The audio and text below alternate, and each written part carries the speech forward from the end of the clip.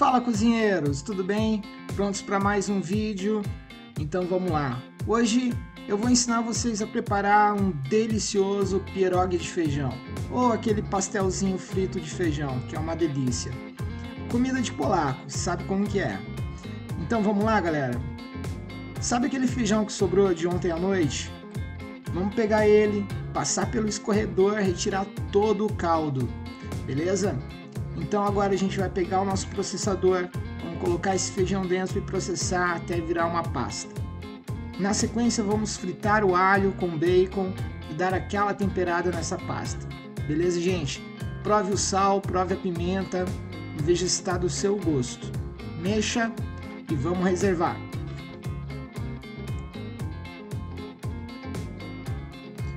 Agora, cozinheiros, vamos fazer a nossa massa, beleza?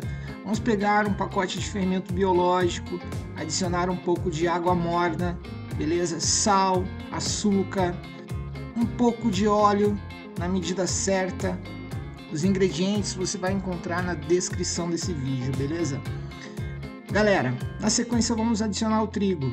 Vamos mexer até formar uma massa bem homogênea, bem lisa, beleza? Não sove muito, tá, galera? Porque a gente não quer dar elasticidade na massa, ok? Agora a gente vai porcionar a massa em bolinhas de aproximadamente 50 gramas. Vamos abrir com a ajuda de um rolo e vamos pegar o nosso recheio e colocar na massa. Tá bom? Com a ajuda de um pouquinho de água, vamos molhar a borda do pastelzinho para poder fechar bem a massa e ela não abrir na hora da fritura.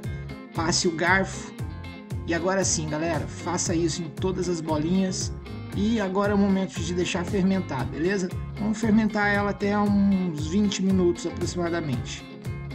Depois da fermentação, vamos aquecer o nosso óleo numa temperatura média, ok? E vamos fritar os nossos pastéis até eles ficarem bem dourados. Beleza, galera? Agora é só você degustar e aproveitar essa receita maravilhosa, beleza? Compartilha nosso vídeo, curta nosso canal e até o próximo vídeo. Falou, cozinheiros!